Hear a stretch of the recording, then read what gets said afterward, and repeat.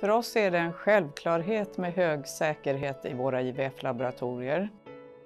Det gäller såklart eh, både för våra patienters skull och även för personalen som arbetar i laboratoriet. Det finns möjligheter att ytterligare öka säkerheten genom att eh, lägga till ett elektroniskt eh, övervakningssystem som komplement till de manuella ID-kontroller som görs i varje steg i IVF-laboratoriet.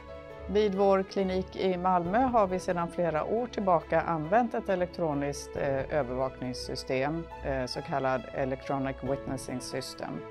Vi ska nu införa det här systemet på alla våra kliniker i Sverige. Det system som vi har valt är baserat på RFID-teknik, det vill säga radiofrekvensidentifikation. Det här är ett komplement till våra redan säkra rutiner. Inför ägguttag erhåller patienterna ett ID-kort med ett unikt nummer och det här kortet eh, används under hela labbprocessen. Alla skålar, provrör och kärl för spermaprov är märkta med ett radiofrekvensband som är kopplad till patientens unika nummer.